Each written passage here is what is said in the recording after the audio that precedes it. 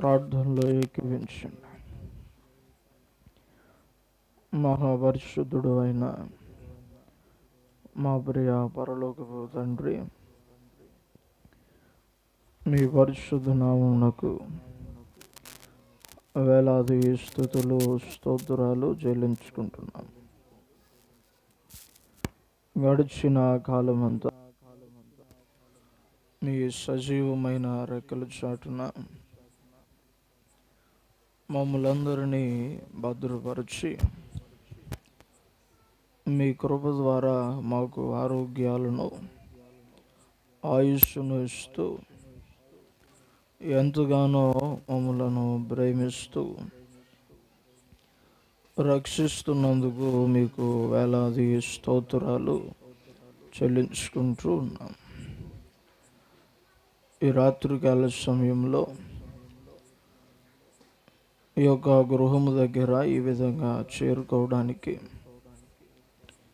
మీరు మాకు ఇచ్చిన అవకాశాన్ని బట్టి మీకు వేలాది స్తోత్రాలు చెల్లిస్తున్నాం. బిడలు ఇప్పటి వరకు పాటల ద్వారా మిమ్మల్ని స్తుతించడానికి మీరు చేసిన ఆత్మ సహాయాన్ని బట్టి వందనాలు. చెప్పబడిన సాక్ష్యాన్ని మీరు విన్నారు.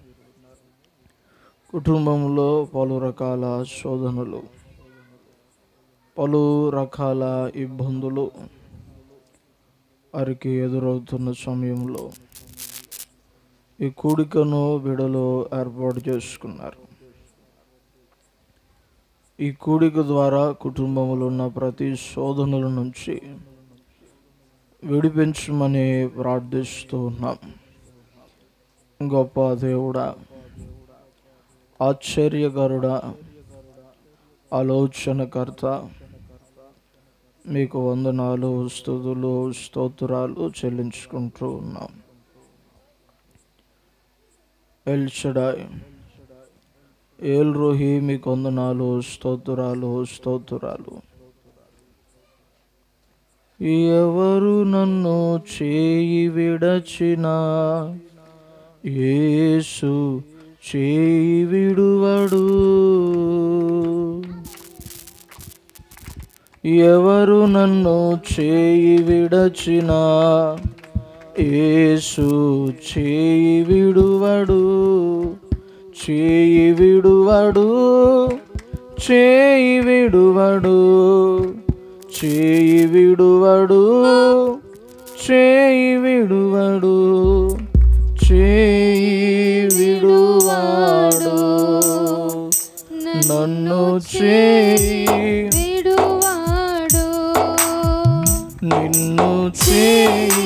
విడువాడు. ఎవరు నన్ను చేయి విడచినా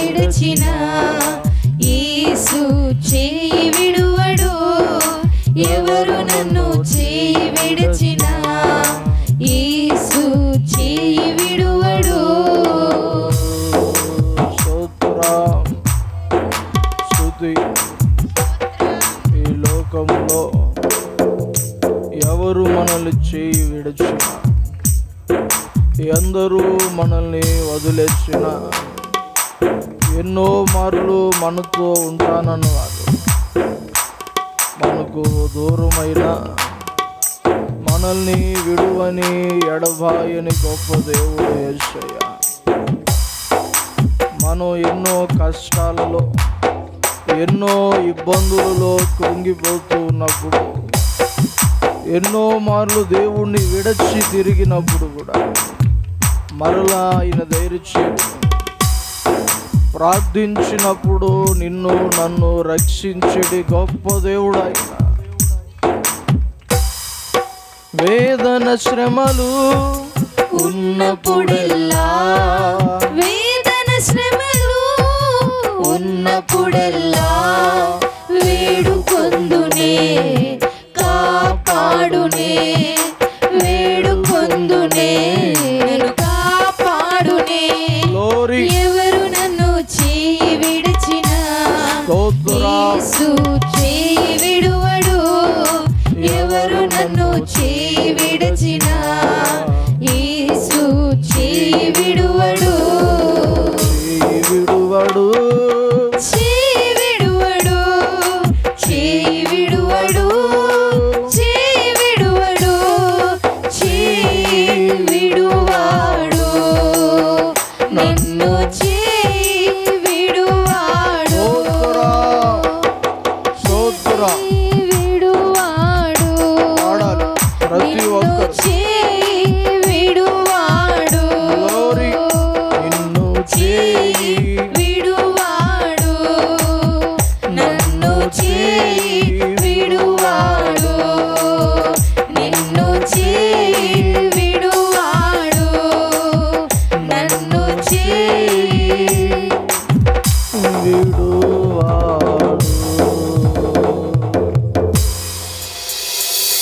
ఎవరు నన్ను చేయి విడచిన?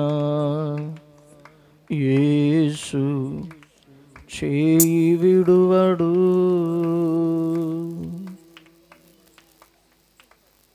వేదన శ్రమలు ఉన్నప్పుడెల్లా? వేదన శ్రమలు ఉన్నప్పుడెల్లా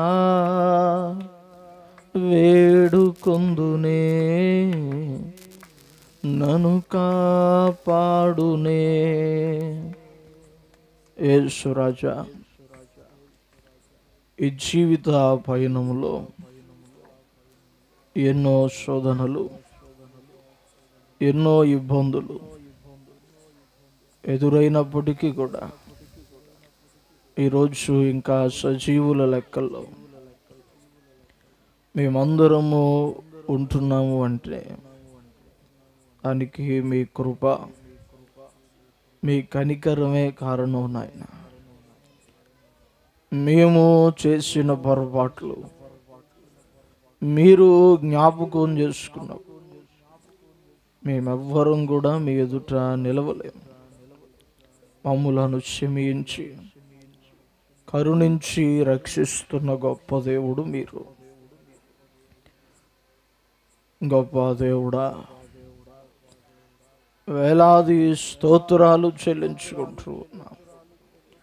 విమోచకుడా రక్షణకర్త మీకు స్తోత్రాలు చెల్లించుకుంటున్నాం. అతి కాంక్షణీయుడా. కుటుంబంలో ఉన్న ప్రతి శోధనల నుంచి విడిపించండి.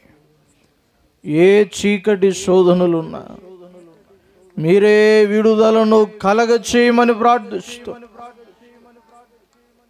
వాక్యానుసారమైనవైతే నిలబడ్డానికి శక్తిని అనుగ్రహించమని ప్రార్థిస్తున్నాం.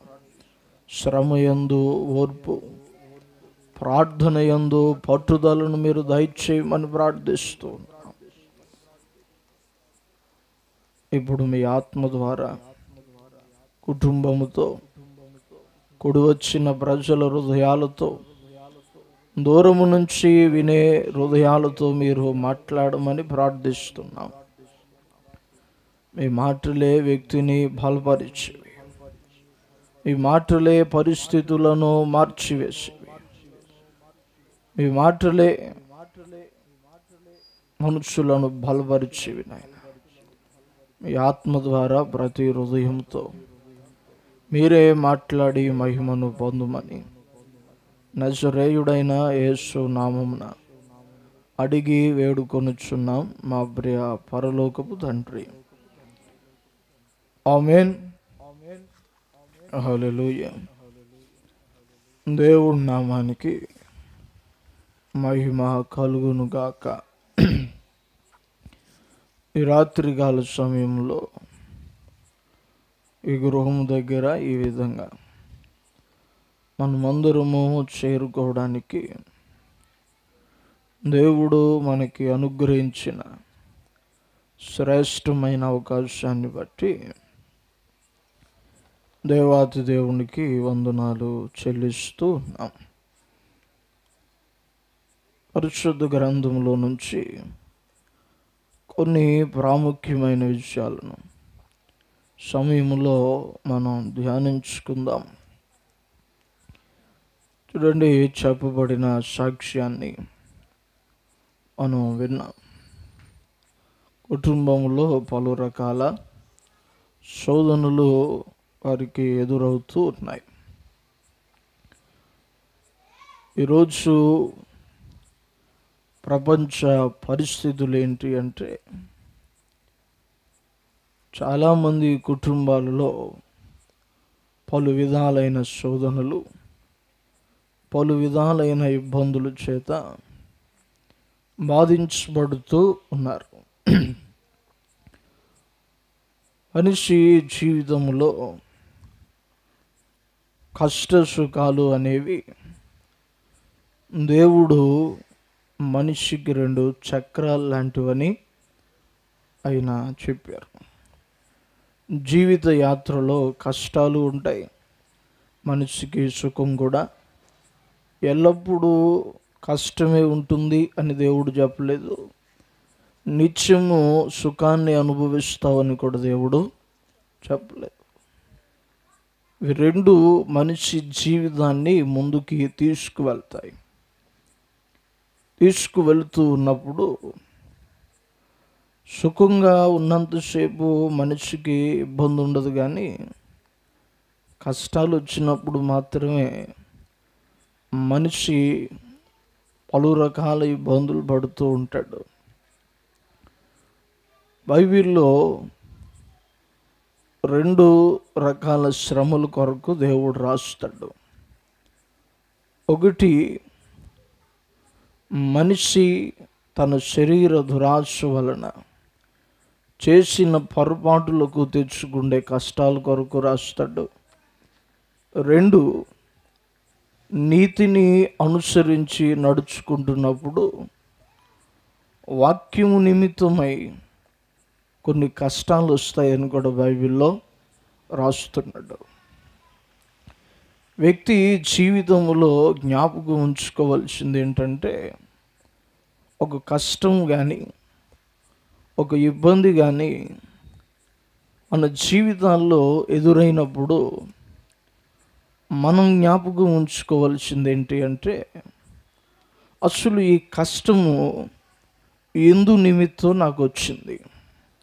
శ్రమ ఎందును బట్టి నాకు కలిగింది అనేది మొదటి దేవుణ్ణి అడగాలి.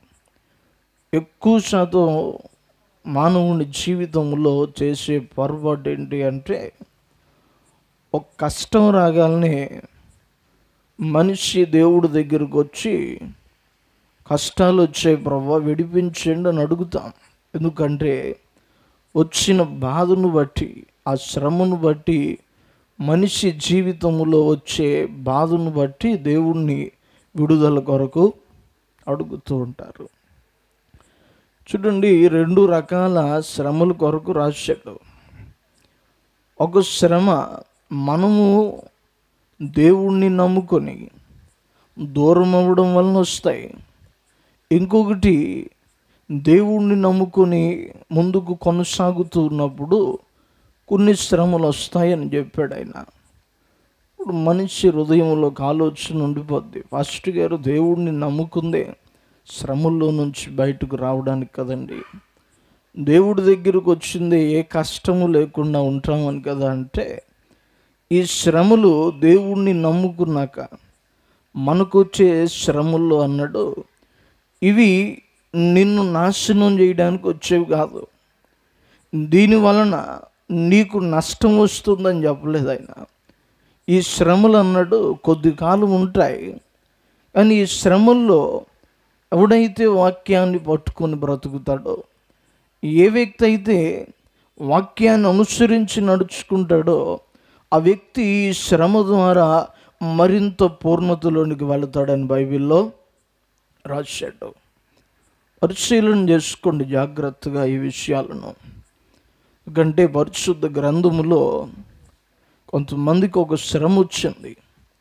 నిర్గమాకాండము రెండవ అధ్యాయము ఇరవై మూడవ వచ్చినములో కొంతమంది ప్రజలకు ఒక శ్రమ వచ్చింది. ఆ శ్రమ ఎలాంటి పరిస్థితిని వాళ్ళకు తీసుకొచ్చింది? ఈ శ్రమ అసలు వారి జీవితంలో ఎందుకు సంభవించింది అనేది దేవుడు తెలియజేస్తాడు. చదవండి. అలాగున అనేక దినములు జరిగిన మీదట ఐగుప్తి రాజు చనిపోయాను. చూడండి ఈ ఐగుప్తి రాజు ఉన్నంతసేపు వీళ్ళ పరిస్థితి ఏంటంటే వీళ్ళకి దేవుడు అనుకూలమైన పరిస్థితిని ఇచ్చాడు ఇస్రాయేలీల ప్రజలకు. వారందరినీ దేవుడు విడిపించి మంచి స్థితిని వాళ్ళకి ఇచ్చాడు. ఇబ్బంది లేని పరిస్థితి సమస్య లేని పరిస్థితి ఏ కష్టం లేకుండా జీవితము మంచిగా కొనసాగుతున్న స్థితిని ఇచ్చాడు. ఇచ్చినప్పుడు వీళ్ళు ఏం చేశారంటే ఇచ్చిన దాన్ని బట్టి ఆనందిస్తూ ఇచ్చిన దేవుణ్ణి మర్చిపోయారు. ఈరోజు చాలామంది ప్రజల పరిస్థితి ఇదే. దేవుడు ఏదైనా ఇస్తే ఇచ్చిన దాన్ని బట్టి ఆనందిస్తున్నారు కానీ ఇచ్చిన దేవుణ్ణి విడిచిపెట్టి బ్రతుకుతున్నారు. దావీదు జీవితంలో ఒక మాట రాస్తాడు ఆయన. పరిస్థితులన్నీ బాగున్నప్పుడు ఒకసారి పొరపాటు చేస్తే పొరపాటు వలన దావీదుకి భయంకరమైన శ్రమ వచ్చింది. దాన్ని కీర్తనలో అంటాడు శ్రమ కలుగక మునుపు నేను త్రోవ విడిచి తిరిగాను. శ్రమ రాకముందు దారి తప్పి తిరిగాను. కానీ ఈ శ్రమ వలన నేను ఇప్పుడు సరైన మార్గంలో శ్రమ రాకముందు విడిచిపెట్టి తిరిగాను. ఇప్పుడు నీ మాటను అనుసరించి నేను నడుచుకుంటున్నాను. కొంతమంది జీవిత పరిస్థితులు కూడా రోజు ఇలాగే ఉంటాయి. కొద్దిగా ఎదురుకి జరగండి అమ్మా ఎదురంత చోటే కదా ఇది. ఎదురుకి జరగండి కొద్దిగా. చూడండి దావీదు భక్తుడు తన జీవితంలో శ్రమ కలగక మునుపు ఏం విడిచి తిరిగాడంటే ఆయన? ఏం విడిచి తిరిగాడు? శ్రమ రాకముందు త్రోవను తప్పి తిరిగాడు. తనకు నచ్చిన త్రోవే సరైంది అనుకున్నాడు. నాకు అన్నీ ఉన్నా ఏ ఇబ్బంది లేదనుకుని వెళ్తున్నాడు. కానీ ఇప్పుడు తాను చేసిన పని వలన ఒక శ్రమను తెచ్చుకున్నాడు. తాను చేసిన పొరపాటు వలన ఒక శ్రమను శరీరముతో ఉండగానే తెచ్చుకున్నాడు. తెచ్చుకునేసరికి ఇప్పుడు ఆ శ్రమ వలన కృంగిపోయి అంటున్నాడు. ఈ శ్రమ కలగక మునుపు నేను త్రోవ విడిచాను. కానీ ఇప్పుడు ఈ శ్రమ వలన నేను నీ మాట ప్రకారం జీవించడానికి అవకాశం వచ్చింది.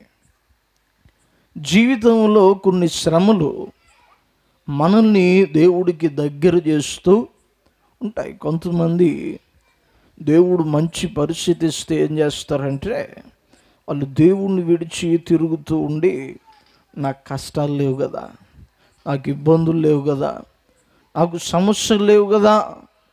నేను ఎలాగ తిరిగినా పర్లేదు అనుకుంటారు.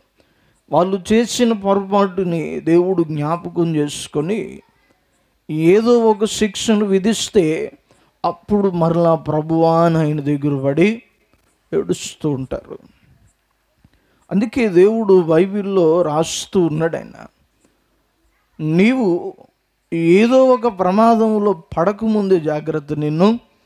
తీసుకోమని చెప్పాడు. ఆయన ఇస్రాయేలీల ప్రజల పరిస్థితి కూడా అదే. వాళ్ళకి అనుకూలమైన పరిస్థితిని దేవుడు ఏర్పరిచాడు.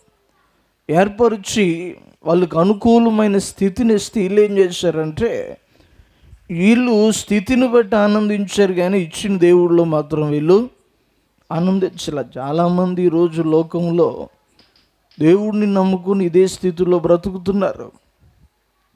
ఇచ్చిన స్థితిని బట్టి ఆనందిస్తున్నారు కానీ ఆ స్థితిని ఇచ్చిన దేవుణ్ణి మరచి చాలామంది ప్రజలు మర్చిపోతున్నారు. మనం ఏమనుకుంటామంటే మేము ఎక్కడ మర్చిపోయాం మాస్టర్ గారు? ఆదివారం మందిరానికి వస్తున్నాం కదా. ఇది ఇలాగ ప్రార్థనలు అంటే వస్తున్నాం. శుక్రవారం వస్తున్నాం. దేవుడు అంటాడు వస్తున్న నీవు నన్ను మరిచిపోవడం అంటే బైబిల్లో ఆయన రాస్తాడు. యోహాను మొదటి పత్రికలు ఆయన అంటాడు కదా దేవుడు మూలంగా పుట్టినోడు అవడు పాపం చేయుడు. పాపం చేస్తున్నాడు అన్నాడు వాడు నన్ను ఎరగను లేదు అని నన్ను చూడను కూడా లేదు. పరిశీలన చేసుకో. దేవుణ్ణి నీవు ఆయన దగ్గరకు వస్తూ ఉంటూ కూడా. జీవితం నీ ఇష్టానుసారంగా బ్రతుకుతూ. జీవితము నీ అనుకూలతలో నీవు జీవిస్తూ నేను దేవుడిని ఎక్కడ మర్చిపోయానంటే ఆయన అంటున్నాడు మరి మర్చిపోకుండా నీకు జ్ఞాపకం ఉండి ఉంటే నీ పాపం కొరకే కదా శిలువు మాను మీద మరణించాను. నీ పాపం కొరకే కదా రక్తం గార్చాను నీ పాపం కొరకే కదా నేను పరలోకములు ఉండవలసిన వాడిని భూమి మీదకి శరీరధారిగా మరి నేను నీకు జ్ఞాపకం ఉండుంటే ఈ పాపాన్ని విడిచిపెట్టి నీవు బ్రతుకుండేవాడివి. పరిశీలన చేసుకోండి. ఈరోజు మన జీవిత పరిస్థితులు కానీ ఇలాగ ఉండి శ్రమలు తెచ్చుకుంటున్నామేమో. ఎందుకంటే కొన్నిసార్లు ఆలోచించుకుంటాం జీవితంలో ఏమనంటే ఎందుకు వస్తున్నాయి ఈ శ్రమలు? ప్రార్థన చేస్తున్నాం అందినాలకు వెళుతున్నాం కానుకలు ఇస్తున్నాం అన్నీ చేస్తున్నాం. ఎందుకు శ్రమ వస్తుంది? అంటే దేవుడు అంటున్నాడు ఈ శ్రమకు కారణమైనది నీ దగ్గర ఉంది దాన్ని విడిచిపెడితే శ్రమ నిన్ను విడిచి పోతుంది. దాన్ని విడిచిపెట్టినంతసేపు శ్రమ వెనకాల శ్రమ ఏదో ఒకటి వస్తూనే ఉంటుంది. ఎప్పుడు శ్రమ నుంచి అసలు విడుదల పొందుకోగలవు అంటే దేవుడు అంటున్నాడు ఆ దానికి నీకు వచ్చే ఇబ్బంది ఎందుకు వచ్చిందో ముందు గ్రహించుకొని దేని వలన శ్రమ వచ్చిందో చూసుకొని దాన్ని విడిచిపెట్టి దేవుడి దగ్గరికి వస్తే విడుదల దొరుకుతుంది. శ్రమ మొదట చేయాల్సిన పని యాకు ఐదు పదమూడులో రాస్తాడు. మీలో ఏ వ్యక్తికి శ్రమ కలిగిన అతను మొదట ఏం చేయాలి? ఏం చేయాలమ్మా? యాకోబు ఐదు పదమూడులో రాస్తాడు. మీలో ఎవనికైనా శ్రమ సంభవించున? అతడు ప్రార్థన శ్రమొచ్చునుడు మొదట చేయాల్సింది ప్రార్థన. శ్రమ ప్రారంభమే మనం మొదట ఆపేసేదే ప్రార్థన. శ్రమ రాగాలని మొదట దేనికి పులిష్టా పెడతాం మనం? ఈ శ్రమ ద్వారా ప్రార్థన చేసుకోలేకపోతుందని మాస్టర్ గారు. ఈ శ్రమను బట్టి ప్రార్థన నడిపింపు రావట్లేదంటే దుష్టుడు మొదట ఆపేది అదే ఆ ప్రార్థన ఆగిందా? నీకు దేవుడుకున్న కనెక్షన్ కట్ అవుద్ది. అది కట్ అయిందా? దేవుడు సాయం చేయడానికి అవకాశం ఉండదు.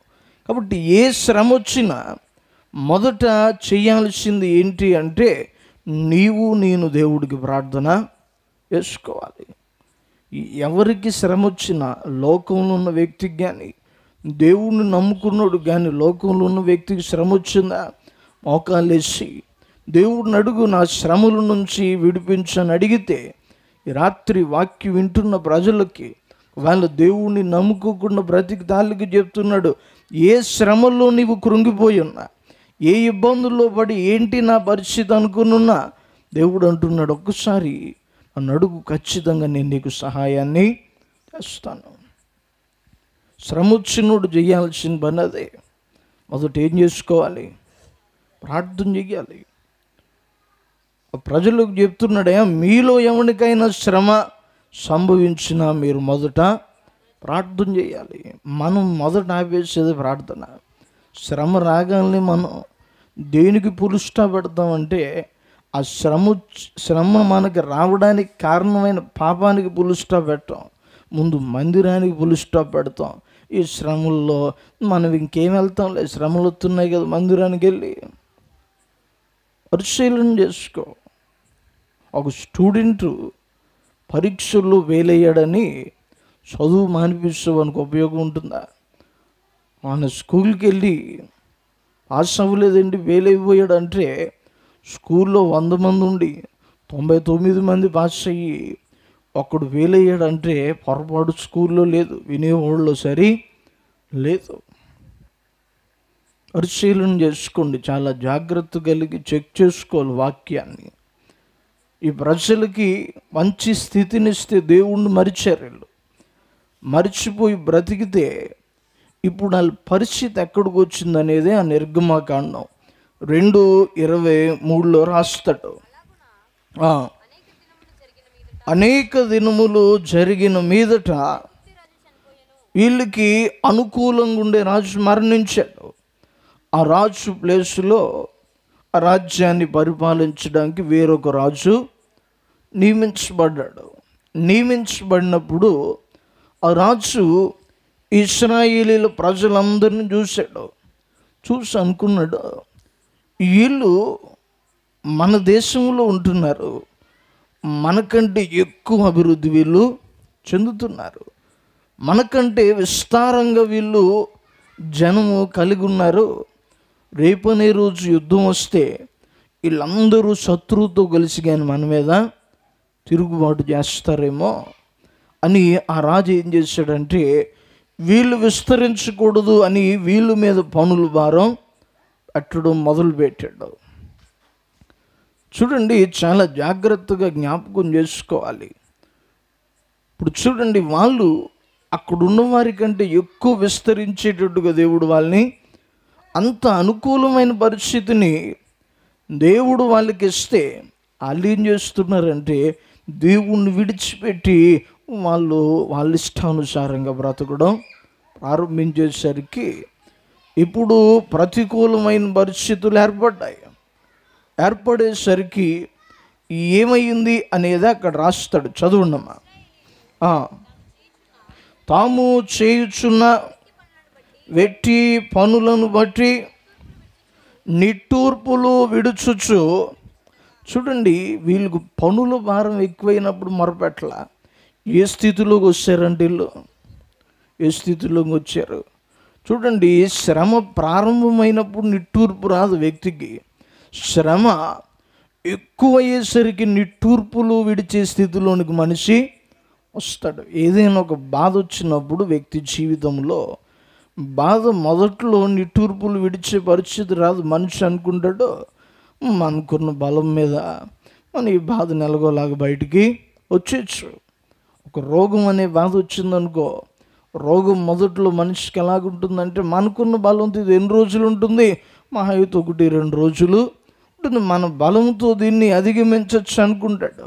ఇప్పుడు ఆ బాధ ఒక వారం అయిందనుకో ఇప్పుడు ఆలోచించుకుంటాడు తనకున్న ధనబలాన్ని బట్టి. ఏదో ఒకటి చేసి మనకు అన్నీ ఉన్నాయి కదా ఈ ఎక్కడికో దగ్గరకు వెళితే బాగుపడతాం అనుకొని వెళ్తాడు. ఎక్కడికి తిరిగినా బాగుపడకపోతే అప్పుడు అనుకుంటాడు ఈ శ్రమ ద్వారా నా పరిస్థితి అయిపోతుందేమో. ఇక నా జీవితము ఇక్కడితో అయిపోతుందేమో అని అప్పుడు నిట్టూర్పులు విడిచే స్థితిలోనికి వస్తారు. ఈ పరిస్థితి అలాగే వచ్చింది. శ్రమ వచ్చిన ప్రార్థన చేస్తుంటే ఆ పరిస్థితి వచ్చిండేది కాదు వీళ్ళకి. ఏం చేశారంటే ప్రతికూలమైన పరిస్థితులు వచ్చిన వెంటనే ప్రార్థన చేయాల. ఆ నిట్టూర్పు విడిచే స్థితిలోనికి వచ్చినప్పుడు అప్పుడు దేవుడి దగ్గరకు వచ్చి ప్రార్థన చేస్తున్నారు. ఇస్రాయేలీలు తాము చేయుచున్న వెట్టి పనులను బట్టి నిట్టూర్పులు విడుచుచు దేవుడికి ఏం చేశారు వీళ్ళు? శ్రమ వచ్చినప్పుడు ఏం చేశారమ్మా? ఏం చేశారు? ప్రార్థన చేశారు. ఈరోజు మనం చేసుకున్నాం ప్రార్థన. లూక పద్దెనిమిదో అధ్యాయం ఐదో వచ్చినాన్ని ఒకసారి చూడండి. లూకా సువార్త పద్దెనిమిదో అధ్యాయం ఐదో వచ్చిన చదవండి. ఆ, పద్దెనిమిది ఆరు చదవండి చదవండి. ఆ పైనుంచి చదవండి. చూడండి అక్కడ ఒక ఉపమానాన్ని చెప్తాడు ప్రజలకు దేవుడు. ఉపమానం ఏంటంటే ఒక ఆమె రాజుని పదే పదే ఆ రాజుని విసిగిస్తూ ఉంటుంది న్యాయం చేయమని. రాజు ఎవనికి న్యాయం చేసే విధానంలో లేడు. అండ్ రాజుని అడుగుద్ది న్యాయం చేయమని. పదే పదే విసిగించేసరికి విసిగిపోయిన రాజు ఈ విధవరాలు నన్ను చాలా విసిగిస్తుంది అని ఆమెకు న్యాయం